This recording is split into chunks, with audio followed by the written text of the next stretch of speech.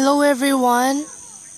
Uh, this video is about how to accept Jesus Christ as your Lord and Savior. But before we start off, uh, let us pray first. Father God, Holy Spirit, Jesus Christ, thank you for this message. Please help us to accept it and understand it. In Jesus Christ's name, Amen. Now, if you want to accept Jesus Christ into your heart as your Lord and Savior, you can say a prayer like this, but you have to mean it. Be sincere with all your heart.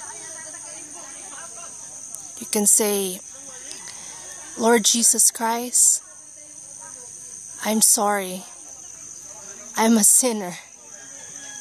Please forgive me for all of my sins.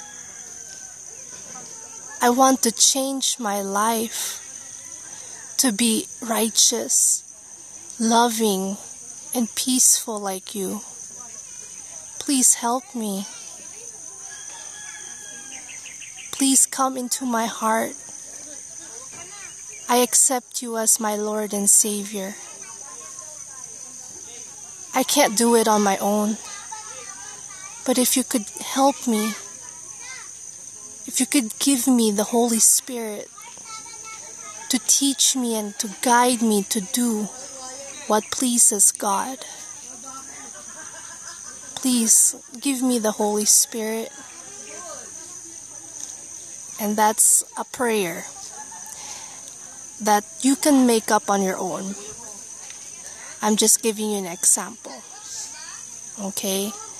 So if you have any more questions or uh, comments, pray to Jesus Christ. He'll listen to you because He loves you. This is the end of this message. May Father God, Holy Spirit, and Lord Jesus Christ give you the peace and the love of Jesus Christ in your heart. In Jesus Christ's name, amen.